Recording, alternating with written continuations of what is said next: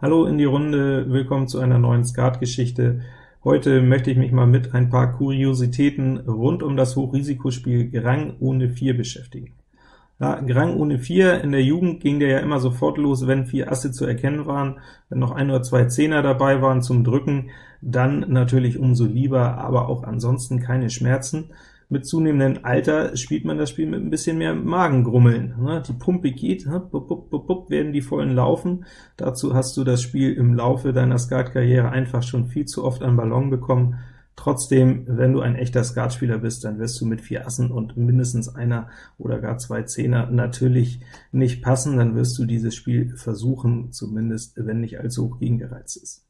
Kleine Anekdote 1, ich glaube, die kommt von Jörg Lucke, dem Erdbeersammler der hat es doch tatsächlich geschafft, beim Turnier äh, einen Grang ohne 4 zu spielen, und äh, ja, er kam lachend an hinterher und sagt, das hat er noch nie erlebt. Nach zwei Stichen waren alle vier Buben aus dem Spiel, also mit anderen Worten, die Gegenpartei hat zweimal Bube gezogen, dass das einmal passiert, ist ja nicht ganz unüblich, äh, der Gegenspieler weiß ja nicht immer, wo die Buben sitzen, ähm, das siehst du als äh, Spieler dann nicht ungern, dass das dann ein zweites Mal passiert, das ist doch in der Tat eine Geschichte, die ist schon wieder so merkwürdig, die kann man sich gar nicht ausgedacht haben, also das muss sich wirklich ereignet haben.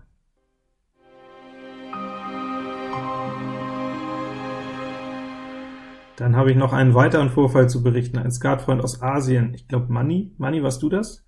Hat mir geschrieben, ich habe leider die E-Mail verlegt, Vier Asse, vier Zehner in Mittelhand, ein schöner Grang ohne Vieren bei Passe Passe, und dann blieb der Spieler Schneider schwarz, denn in Vorhand saßen zwei Buben und zweimal König zu viert, in Hinterhand saßen auch zwei Buben und zweimal König zu viert, und damit das Ding dann wirklich Schneider schwarz wird, müssen natürlich die beiden gedrückten Vollen, der Spieler hatte zwei Volle gedrückt, ausgerechnet die beiden Farben sein, in denen Vorhand die Viererlängen hat, dann gab es tatsächlich kein Spiel. Einen echten Vorwurf kann man den Gegenspielern allerdings auch nicht machen, denn ähm, ja, sie stechen zwar zwei Farben, haben aber nicht einen einzigen Vollen in der Hand und auch nur jeweils zwei Buben, also ein echtes Spiel haben sie auch nicht gehabt.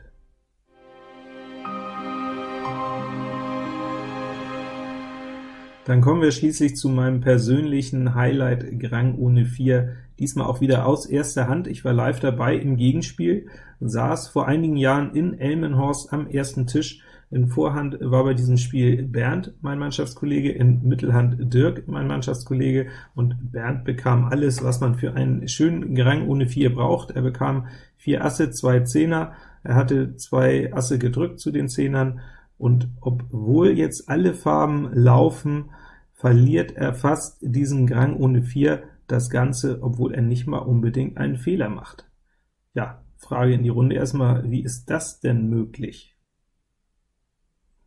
Könnt ihr mal kurz drüber nachdenken. Ich fand das hinterher eins der absoluten Highlights. Äh, schade eigentlich, dass das Spiel dann doch gewonnen wurde, so viel mal gespoilert. Und hier kommt jetzt die Auflösung. Ich habe natürlich nicht gelogen, ich habe euch aber nicht alles erzählt.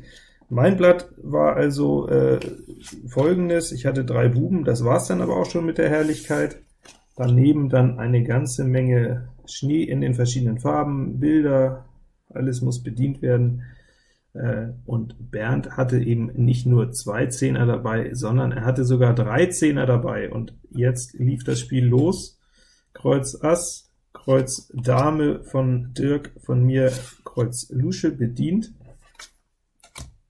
Danach kam Kreuz 10, Kreuz König, und jetzt stand ich da und konnte mir ein paar Gedanken machen, ich habe mir gedacht, nein, der kann nicht allen Ernstes viermal Kreuz haben, also Kreuz Dame, König Blank bei Dirk, das kann nicht sein, sonst muss er ja wohl äh, entweder einen Buben haben, den er erst gezogen hätte, und ohne vier hätte er aus der Viererlänge auf jeden Fall gedrückt. Es blieb nur eine Schlussfolgerung, Kreuz Ass und Zehn waren blank, Kreuz Dame im ersten Stich war von Dirk schon spekuliert, der vier Kreuz hat, dass ich stechen kann, Entsprechend steche ich jetzt logischerweise und finde im dritten Stich die Übergabe mit dem Buben, denn anders kann ich meinen Buben ja sowieso nicht einsetzen. Ich muss alle anderen Farben bedienen.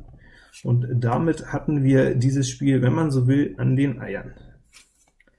Kreuz Bube fällt von meinem Partner, und jetzt kommt natürlich Kreuz Lusche hinterher. Von mir Pik König, und Bernd hat so ein bisschen Probleme, jetzt äh, welche Luschen er abschmeißt. Er hat natürlich genug Kleinkram, den er loswerden muss oder kann, aber er muss sich jetzt auf diesem Stich äh, den ersten von seinen verbleibenden drei vollen Blank schmeißen. Er hat sich hier tatsächlich entschieden, äh, sich das Pik Ass blank zu werfen, und jetzt ist die Situation schon äh, im Prinzip durchschaubar, durchleuchtet, aber nicht ganz einfach zu sehen hier für Dirk, der ja auch nur den einen Buben hatte, der hätte jetzt sehr genau den Luschenabwurf verfolgen müssen und ganz konsequent spielen können. Wenn jetzt etwa Pik 10 kommt, dann ist das Spiel Mause tot, dann kann ich einstechen und dann nachher Lusche rausspielen. Bernd hat äh, 36 liegen, hat noch zwei Zehner im Blatt, braucht noch zwei Bilder, hätte nur eins bekommen. Jetzt kam aber hier ein bisschen Lachs, äh, so, so ein Zwischenzug, Herz Lusche, Herz Lusche, und der hat es hier Bernd ermöglicht, tatsächlich die das fehlende Bild noch einzusammeln. Äh, Herz Dame hat er geschnippelt und danach das Pik Ass angeboten. Pik Ass, nein, es war nicht Pik König, hier habe ich mich vertan. Es kam natürlich Pik 10 von mir gestochen, erneut Herz rausgespielt, da kann ich am wenigsten mit kaputt machen, aber jetzt hat äh, Bernd aus Hinterhand den Herz König bekommen, und auf Karo gab es das Pflichtbild mit der Karo Dame, das heißt, er hat jetzt 63 oder 66. Auf jeden Fall hätte er in Herz gar kein ähm, Bild bekommen brauchen, wenn da die Pik 10 gekommen wäre, und das war eigentlich in, hinterher das interessante, Mensch, vier Asse und zwei Zehner, jede Farbe wäre gelaufen, trotzdem Grang fast verloren, weil nämlich noch äh, ein weiterer Voller dabei war, der siebte Volle, der hat das Spiel für Bernd eben, ja, wenn man so will, gefährlich gemacht, weil er ihm die Möglichkeit gegeben hat, jetzt in der falschen Reihenfolge die Vollen zu ziehen.